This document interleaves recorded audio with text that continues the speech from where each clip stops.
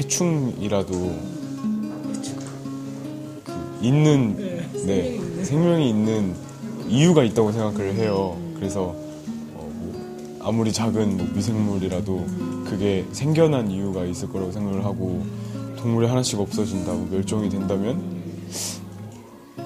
어느 순간 멸종 위기종이 아닌 동물들도 갑작스럽게 네, 멸종 위기종이 될 것 같다는 생각이 들어서 그리고 이제는 조금 걱정이 돼요. 이제 우리 뒷세대들이 어떻게 이 지구에서 얼마나 더 다른 환경 문제들이 생길지도 좀 걱정이 되고 그리고 동물원 가면 너무 좋잖아요. 그래서 좀 그렇게 볼 수 있는 동물들이 오래오래 있었으면 좋겠어요. 진짜 소중한 존재들인 것 같아요. 여러모로. 뭐 위로를 주는 반려동물도 그렇지만 그렇지 않은 동물들도 정말로 파괴되면 안 되죠. 워낙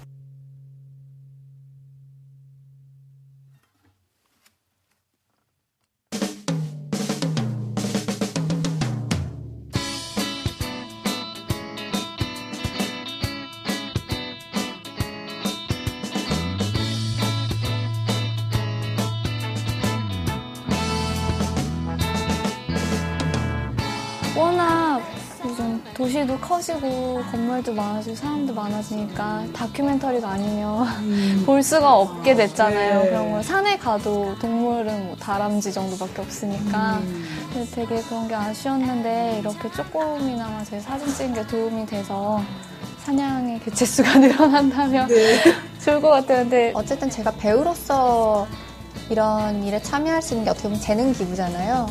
근데 이게 너무너무 좋아요. 그리고 제가 처음에 이제 배우를 하고 싶었던 것도 좀 좋은 영향력을 끼칠 수 있는 사람이면 좋겠다는 생각이 들어서였고 제가 사람이든 동물이든 도울 수 있다는 게 되게 저는 기분이 좋은 것 같아요.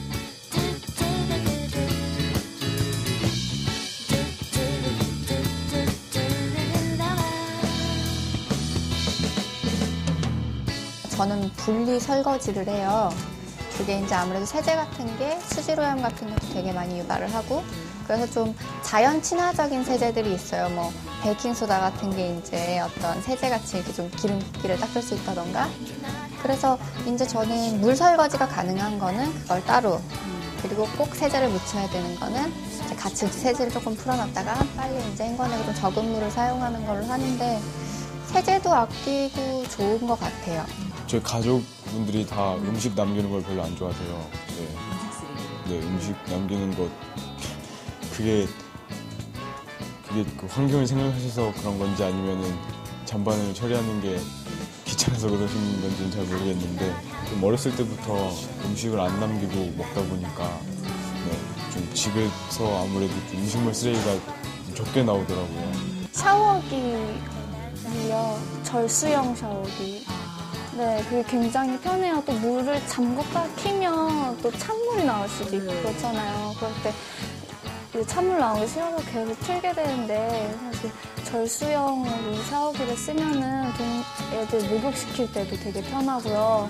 사람 목욕할 때도 잠깐 잠깐 껐다 켰다가 편하니까.